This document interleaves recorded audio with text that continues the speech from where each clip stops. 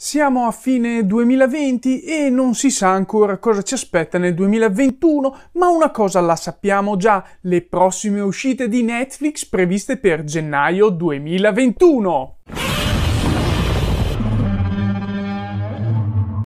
Mentre vi ricordo le solite cose che vedete nelle grafiche e non fate finta di non vederle, stravolgo un minimo la solita routine partendo prima dalle serie TV perché la primissima l'attendo con molta ansia. Parto quindi subito dalla terza stagione di Cobra Kai, una stagione che attendo appunto con ansia dopo essermi visto tutto d'un fiato le prime due stagioni a fine agosto. Ricordo c'è anche un video precedente a riguardo che questa serie è stata commissionata anni fa da YouTube, ma Netflix ne ha acquisito i diritti e rilasciato nuovamente in pompa magna con tanto di terza stagione che sembra essere in parte sulle orme del buon Pat Morita, scusate, il maestro Miyagi volevo dire, e risolverà il finale al cardiopalma della seconda stagione. Fortunatamente qualcuno dal trailer ha riaperto gli occhi.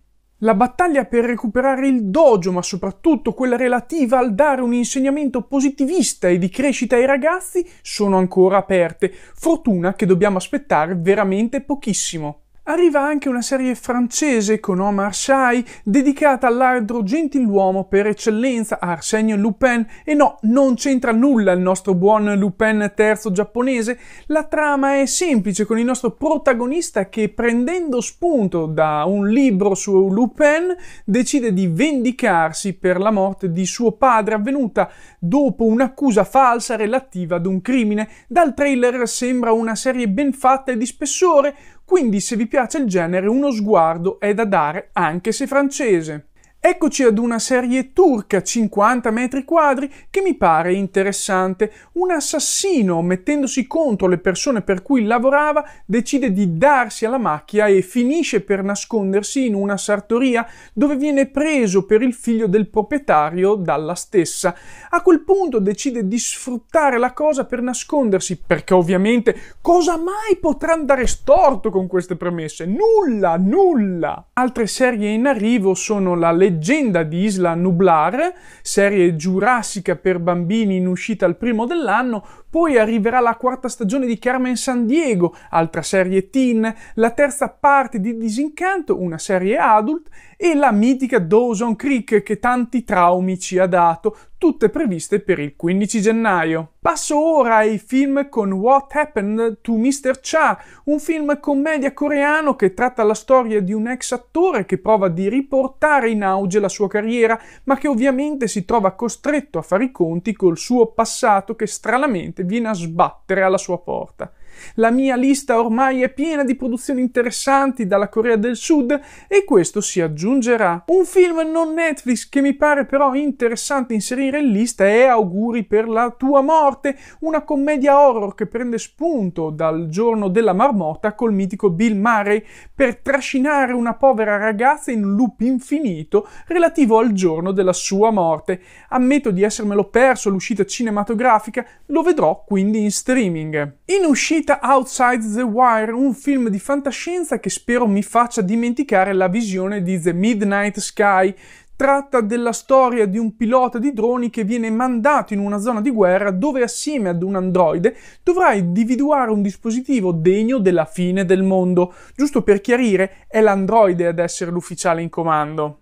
Altri film degni di nota sono tutta la serie di Spider-Man originale, i diritti sono di Sony, in arrivo il primo dell'anno e Rocketman in arrivo il 2 gennaio, che si sposta da Prime Video. Concludo le uscite di Netflix coi documentari partendo dalla storia delle parolacce, una serie che già dal titolo fa capire di cosa si parla e certo non la si può evitare.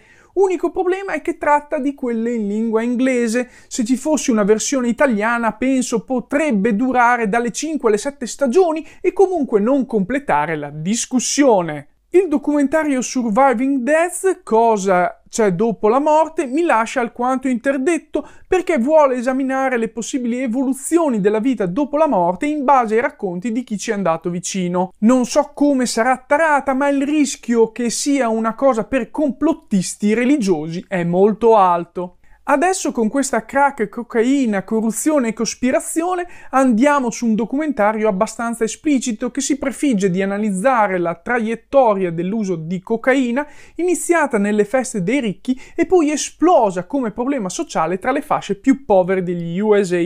Tutto questo condito con passaggi politici e il cambiamento di approccio della società. Ancora una volta il mio tempo con voi è finito, se non lo avete già fatto guardatevi le uscite di questo dicembre. Intanto mettete mi piace, iscrivetevi al canale, attivate la campanellina, commentate e condividete questo video. Avete come sempre la possibilità di supportare le mie attività andando su marcotadia.net e di contattarmi tramite i miei social. Adesso non vi resta che aspettare la seconda parte sulle uscite di gennaio 2021. Ciao!